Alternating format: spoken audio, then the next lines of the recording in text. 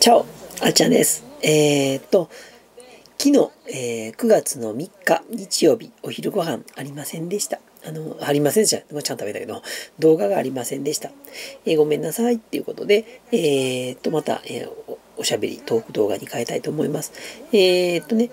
あの、昨日ね、日曜日で、え、っと、上の子の友達がまた遊びに来てたんで、え、っとね、あの、お昼過ぎに来るよって言ってたんで、じゃあ、あの、また動画なしで食べようかっていう話をして食べました。はい。で、昨日はね、何食べたかっていうと、えっ、と、おとといの夜、えっ、と、晩ご飯で4合炊いて、ご飯たっぷり残してあったんで、オムライスを食べました。はい。で、オムライスで具がね、あれ、あの、ベーコンを入れて、で、えっ、と、なんだ、ベーコンと、えっ、と、玉ねぎと人参もいつもの定番にオムライスにしてんけども、えっ、とね、あのこの前チャーハンみたいにしたんけども、今回は普通にケチャップで、えー味付けって感じで、えーケチャップ風味のベーコンの、チキンライスじゃなくね、あのベーコンライスにしたんで、そこね、ちょっとね、日曜日やし、あの、ニンニク入れようかもね、友達来るだからニンニクなしにした。だからもう普通のオーソドックスなオムライス。で、卵はね、あの、なんていうの？花咲タンポポオムライス？花咲オムライス？忘れた。ふわっとして、あの、ちょっと卵を多めにしてミルク入れて、で、バーって混ぜて、もこって半生にして、で、こんなポテッとしたもの作って、ご飯の上ポンって乗せて包丁で切ってパカンって開くやつね。うまいこと説明できへん。うん、あれにした。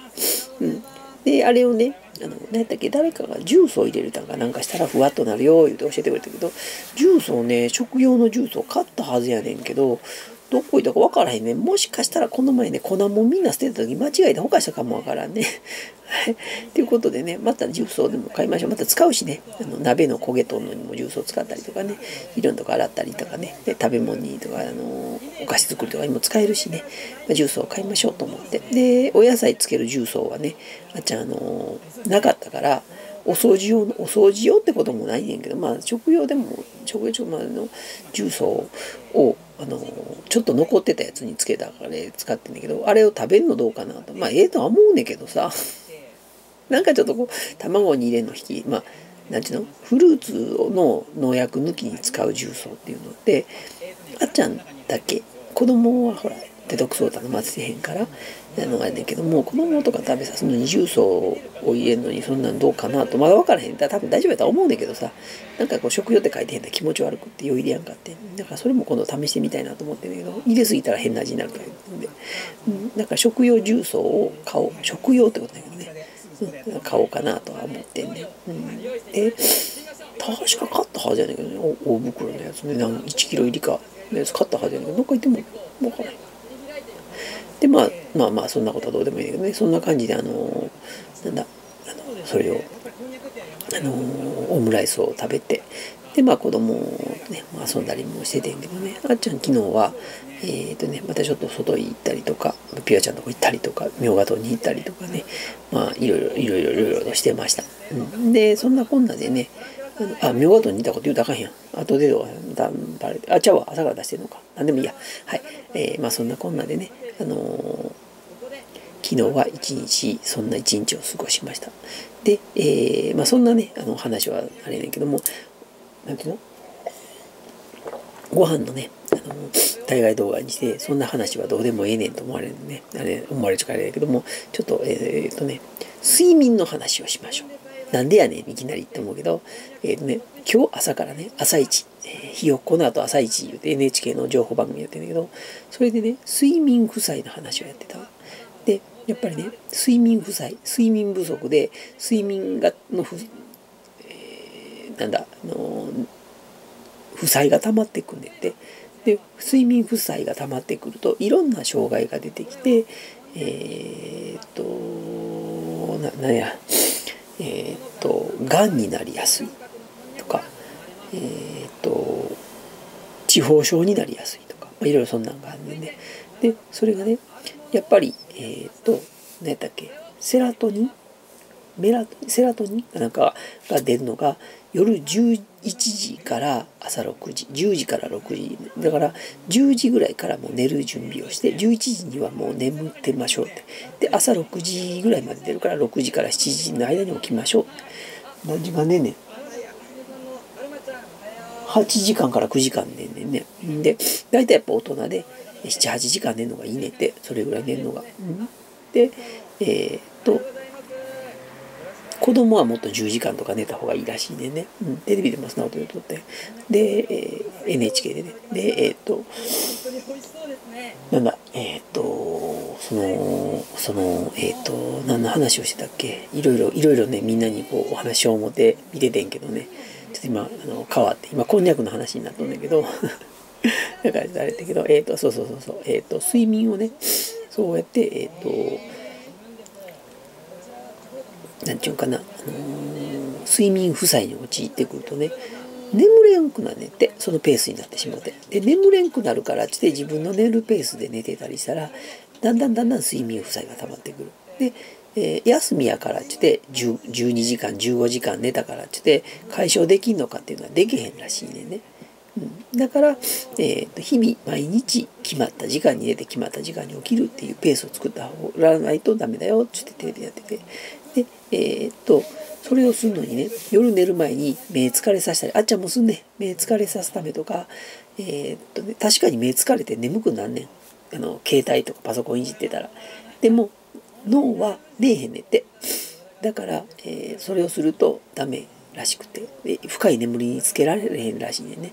だから、携帯とかパソコンは10時までにやめて、で10時ぐらいからもう寝る準備をして、で、11時にはもう完全に寝てる。ってことはお風呂もうちょっと早入らんとあかんねんね、うん、っていうペースを作っていく。で朝6時7時に起きて朝ごはんを食べて。で二度寝あっちゃんよすんねんけども二度寝をするとね体温が一回ね眠る時には体温が下がってて。で寒くなって寝んねんって。でえー、っとで目覚めたら体温が上がってて。で体温が上がって行動活動的行動的になるらしいねんけども、えー、朝目覚めてご飯食べてて体温せっかく上がってんのに二度寝することによって体温下げちゃうねんって。でそれもあの何て言うかな周期的なもんで二度寝するからってしてたらそういう周期になっちゃうから朝起きてご飯食べたり準備終わったら眠くなんねんてでまた寝て合うっ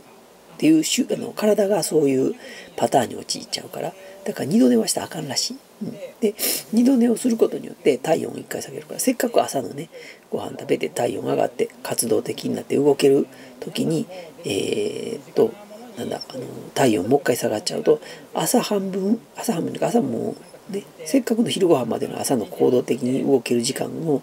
脳を休めちゃうことになるから二度寝はダメですって言ってた。逆にお昼寝シエスタ。いいらしい。やっぱこれねイタリア人っていうかヨーロッパ人はシエスタをする。法律でシエスタせえへんだら罰金って言われるぐらいねシエスタしゃなかんらしいねんけどもいいことらしい、まあ、シエスタ。あっちゃん前からも何回も言ってるけどシエスタはすごくいいことやって。その、ね、睡眠学の博士の人も言ってたんけど昼お仕事。今最近日本の会社でもね仕事お昼ご飯仕事やって昼の間昼休憩してご飯食べて、まあ、昼の昼からの仕事に就く間会社の電気を落として消灯時間としてあのお昼寝時間作ってる会社が増えてきてんねんて。それは何かって言ったら睡眠負債を解消するものじゃないらしいね。お昼寝っていうのは睡眠時間いくらしても睡眠時間には加算されへんねんって。何かって言ったらリフレッシュすんねんて。で、えお昼ねご飯食べた後えー、ちょっと寝ることによってシエスタすることによって脳も活性化されてお昼からの効率が良くなるらしい。その睡眠負債によってね、あのー、今日本でね経済損失が15兆円って言われてねだから睡眠障害とか睡眠不足とか、えー、お昼寝せえへんことによってね起こる事故とか仕事の効率が悪くなるのが全国で15兆円ぐらい効率悪くなったりねそういう無駄に、あのー損失してるらしいね。だからお昼寝シエスタ。これは理にかなったことやってあっちゃん思った。だからあっちゃん前にも言ってたと思うんだけどねお昼間えー、まあ冬は別やけども夏なんかやったら暑いやん。そんな暑い時にご飯食べて暑い中お仕事すんのやったらそこでね30分なり休憩1時間なり休憩してその中でまあお昼寝して。で、えーと、昼休みを長くとった後いつもより1時間余計に仕事するなんでかって夜の方が涼しくなるから仕事できる。っていうのをねまあっちゃんは車屋さんやしねあの暑かったからそういうのはいいことやと思った、うん、それは気にかなってるなと思った、うん。まあ、そんなこんなでやっぱ先生も言ってた通り。でただやっぱりシエスタっていうのはあの寝すぎるとダメやねんて。大体子供で10分で大人成人で大体15分から20分で、えーと、お年寄りで30分がいいとこやって。それ以上寝るとダメやねんて。でそれより少なかってもやっぱりリフレッシュしにくいから大体成人で普通の人で大体15分から20分。でえっ、ー、とね、ちょっともうねお年寄りで引退されてゆっくりされてる方で30分ぐらい、うん、で逆に1時間以上寝るとダメやねんって。またそれが夜寝れんくなったり睡眠障害になってしまったりするからあの寝すぎもダメ。だからあっちゃんいつもね15分寝んねそれとえっ、ー、とねあのなんていうのかな15分とかでタイマーして寝んねんけどもタイマーした方がいいらしい。あっちゃんもタイマーするんだけど、タイマーして起きられへんでもう一回二度寝する人がいてねで1時間超えたりしたりする人もいてるけどそれは体にも悪いし仕事の効率も悪くなるからだから横になって寝るとあのガチ寝してしまうからガチ寝したら起きられんくなんねんって。だからあの横になっちゃダメ。でも横になって寝た方がやっぱり体も頭も脳も安らぐから横になった方がいいとあっちゃん思うね。ただ起きられへん人がいてるから。ねほんまに起きられる。きっちり自分を起こせんでやったら横になって15分きっちり寝た方がいいかなと。あっちゃんも横になってベッドとかねお布団に寝たらダメやね。あっちゃんもやっぱり負けちゃうね。だからここで横になってソファーのとこで横になって寝る。ならやっぱりねガチ寝した日は寒い。起きる時に。そんだけやっぱ体温下がってんねんね。だから毛布とか着ちゃうと今度逆に寝すぎちゃう。だからもう寒いの分かってんだけど寒いまま寝て風邪ひくんだけどもね風邪ひいたりするんだけどそれか軽く冬なんかやったら軽くもう毛布羽織ったりするけど寒いからそんな感じでね、あのー、お昼寝は大体成人で15分から20分ぐらい寝るっていうのはやっぱり理にかなっていいことです。って言って言ってた、うん、で夜はねでそのお昼寝ねするのは睡眠負債を返すためのもんじゃなく生活リズムを整えるためにねんでで何かって言ったら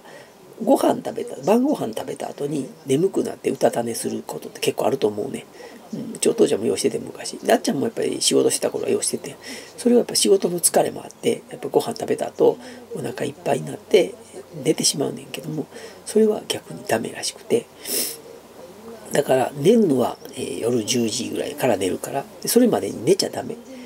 それはお昼寝することによってシエスタすることによって、えー、っとね、それが解消されねってなんかご飯食べた後はゆっくりして眠りにつかずまた何かね好きなこと趣味とかなんかしてで10時ぐらいには寝れるように、えー、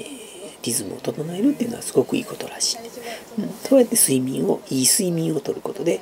何て言うのかな体のリズムを整えて、え効率よくお仕事もできるんだよって言ってテレビでやってた、うん、だからあっちゃんいつもねここ最近だから、えー、昨日はね、まあ、ちょっと遅なって3時ぐらいに起きたけどそうじゃなくやっぱりね10時にはもう寝るようなリズムをちょっとここ最近つけてて、うん、だからそれすごくいいことやと思うだからいつもやったらね、3時まで起きてて、今日朝なんか絶対起きられへんね。もう起きても、まあ子供も怒らなあかんから、気力で起きてもね、また二度寝したくなったりとか、ね、ちょっと横でこうゆっったりなったりするんだけど、何もない。今日はもう活動的になんかすごく逆に動きたい。自分から何かしたいなっていう気になって、うん。まあこれ、デトックスオーダの効果もあんのかもわからへんし、えー、睡眠を整えてきた効果もあんのかもわからへん。何が原因かもわからへんねんけども、原因が何がそうなってんのかもわからへんねんけども、うん。だから睡眠っていうのはすごく大事なもんやってあっちゃう。もテレビで見て、あ、間違ってなかったんやなって、シエスタは間違ってなかったんやって思った。だからみんなもね、シエスタしてください。だからお仕事してて、お昼ご飯まあね、15分とかえー、の休憩じゃなく、だいたい1時間とか30分1時間の休憩あるはずやね30分ではないな。1時間ぐらい休憩あるやん、だいたいお昼ご飯。で、それはご飯食べるのに1時間もかからへん。だから、コーヒーをまず飲む。まずコーヒーを飲んで、で、ご飯を食べる。で、なんでかって言ったらコーヒー飲んだら30分後ぐらいに覚醒すんねんて。だからコーヒーを飲む。でご飯食べる。食べ終わったらシエスタする。で大体15分ぐらいタイマーかけてする。で15分でタイマーになったらコーヒーで覚醒もすんだよね、あのー、カフェインコーヒーのカフェインとかが、えー、目覚めに作用するっていうのは30分ぐらい経ってからやからね。だから、えーと、食べるご飯食べる前に飲んだ食べる後に飲んだら30分経つ頃にはまだ寝て、えー、寝て起きてからの時間になるからね覚醒がちょうど間に合わへんからで時間読めへんからさっき教授も言ったけど時間読めへんからもうご飯食べる前にコーヒーを飲むっていうのが理にかなってるって言ってた。うん。だから、ランチでコーヒーついてる時も先に持ってきてくださいって言って、コーヒー飲みながらご飯食べるっていうのはありやと思います。はい。ということでね、だからあっちゃんも朝起きてコーヒー飲んで、朝ごはんの残りやねんけど、えー、と、ご飯、昼ご飯食べてコーヒー飲んで、で、夜ご飯食べてコーヒー飲んでっていう、もう夜ご飯の後コーヒー飲まへん方がいいと思うね。夜また寝れんくなると思うね。あっちゃんはカフェイン飲んでも寝れる人やねんけど、まあそんな感じでね、あの質のいい睡眠をして、えー、体調を整えるっていうのはいいことだと思います。だからみんなもそうやってください。はい。ということでね、お昼ご飯の代替動画がね、何分ぐらいかかってるのか分からへん。まだ10分経ってんのか。はい。ということでね、えー、っと、バナナ食べましょう。はい。なんか一緒に食べましょう。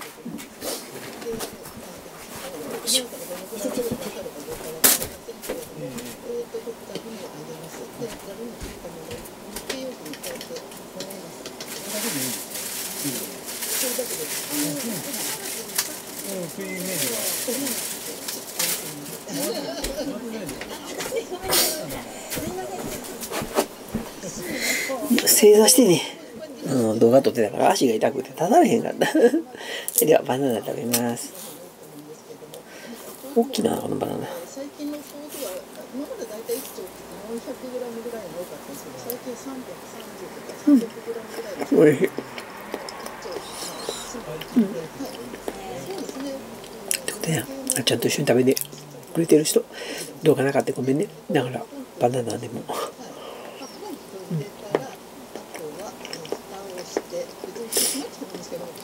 バナナはね食べるエナジードリンクドリンクしゃべたあれいいよね。ほら。朝ごはん食べられへん忙しい人なんかでもねこうバナナ食べながら通勤通学してください。アスリートとかはねバナナ食べるの。うん。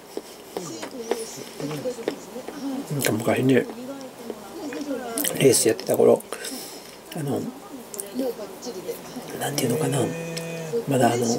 レーサーの卵っていうか若い子はねレーサーになりたい。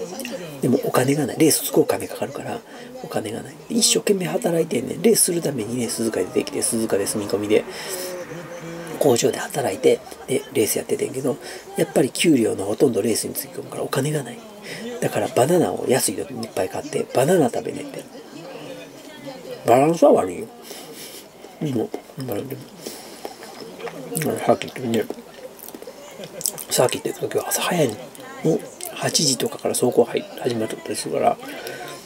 もうもう6時とか7時には先取りしとんでね。でプロのねあのドライバーなんかやったらもうなんかみんなセッティングできてるのに後から来て勝手に車乗ってで降りたらもう帰ってしまって後でまたメカニック忙しいっていうイメージあるけどそうじゃなくもう素そういうね素人っていうか駆け出しのねプロでもね意識の高い人は搬入前から来て一緒にメカと一緒に手伝ったりとかメカにあのこう激励しながらねやってる人もいてんだけどもね。まあねちょっと天狗な人はそういうね、後から来てちょイメージあるかからんけどそんなドライバー少ない、まあ、そんなねひどい人ってあんまいてないねんけどね、だから特にそんな若い子なんかやったらそのチーム行って車をね自分で整備してお金を抑えるのにねで搬入するのにもトラック乗せるのを手伝ったりしてで費用を安くしてっていうことは早く出てくるんでその時にバナナいっぱい持ってくるねでバナナ朝からねバナナ食べてねで乗ってお昼ご飯バナナ食べにんみんなバナナばっかり大丈夫だなって言うんだけどいやもう金ないですからバナナとねパンと食べてた。で向このチームの人も言ったけどレースする時って脳に血を新しい酸素を持っていって頭ですごいもう瞬時に考えながら頭を100%発揮できるように脳が元気になるように。で脳から知り出す時に体がすぐにそれに対応できるようにって言って食べてすぐ吸収するもの。だから腹持ちのいいものを食べると胃が消化するために血液を使う酸素を使うから、ね、だからそういうのじゃなく食べてすぐにも吸収して胃に残らないもん消化のよくいいものを食べなだからレースで勝つためにカツ食べるとか言ってとんかつ食べる人ダメやでって。もうそっち脳とかが意識が全部胃の方行ってしまうからそうじゃなくうどん食べなさいって言って。たうどんは粉やからもうすぐに吸収してしまうからね、バナナいいって、うん、言ってた、うん、これもやんのかもわからへんけどあっちゃんバナナ大好きで、ね、いや違うな。レースする前からバナナ好きだからでもちゃい時にお父ちゃんにはねミックスジュースとかバナナジュース飲ましてくれて、ね、喫茶店でねあの車検とか行った時の帰りとかにねまあそんな影響かもからね。まあどっちにしてもあのバナナが大好きなあっちゃんです。はい。あの猿やからやかましい。はい。ということでえー、っと今日のお昼ご飯動画、昨日の動画がなかったんで、えー、またトーク動画にしました。ということで、えー、とまた今日もね、あっちゃんのトークを聞きながら、バナナを一緒に食べながら、え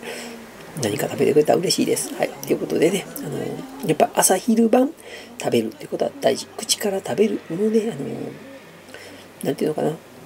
一日に必要なエネルギーを得るためには点滴でもいいし、えー、注射でも、注射でどうか知らんけど、えー、点滴とかね、でもいいし、えー、っと、なんだ、えー、そう栄養補助食品とかでもいいし、えー、なんだ、サプリとかでもいいかもわからへんけども、そうじゃなく人間っていうのは生きていく上で、口から食べて、で、体内で消化して出すっていうことがすごい大事やからね。その一連の動作、やっぱりね、昔の人間の本能に戻すために、えー、そういうふうにしていくことによって免疫力も活性する、活性化して、えー、ちゃうから、えー、なんだ、免疫力がアップして、えー、っと、なんていうかな、病気とかに、打ち勝てるいい体を持てるってあちゃんは思うんでね、あの、ぜひ口から食べてください。どうしてもね、受け付けへんって言っても、ちょっとでもいい。バナナ一口でもいいから食べてみてください。で怖い。確かに食べてね、あの吐くとか、とかので怖いかもわからへんけど、怖さを克服するために楽しくあっちゃんと食べてくれたら嬉しいです。で、みんなね、元気になりましょう。元気になって、で、活動的な秋、楽しくましょう。楽しく楽しくいきましょう。はい。いつも笑顔でね。ということで、えー、今日のあっちゃん、えー、お昼ご飯代替動画、またトーク動画にしました。はい。ということでね、またあの、今日、えー、と、9月の4日はあっちゃん一人のご飯やねんけどね、また一人ご飯何か適当に作って食べます。一緒に食べましょう。明日のお昼ご飯一緒に食べましょうね。はい。ということで、今日はこの辺で終わりにしたいと思います。ではまたね、次の動画でお会いしましょう。